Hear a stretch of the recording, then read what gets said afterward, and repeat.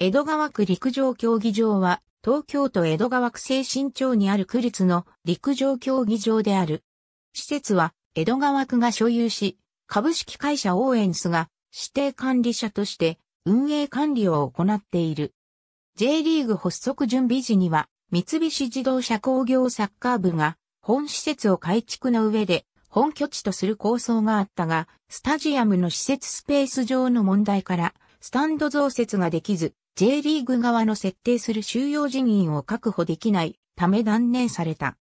日本フットボールリーグでは、江東区猿江に練習場、クラブ施設を置いていた東京ガスサッカー部がホームゲームを開催していた。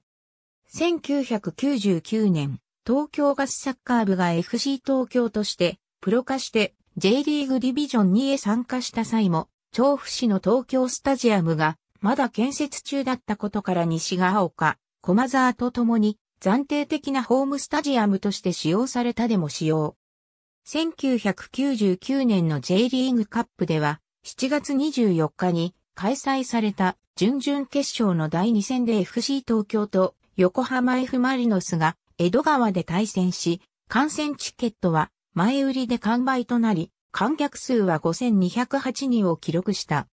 2020年12月12日、ジャパンラグビートップリーグクボタスピアーズが2022年1月開幕予定のラグビー新リーグでのホームスタジアム第一候補を同競技場に定め、スタンドの増設を含めた改修に向け、江戸川区との調整中と発表。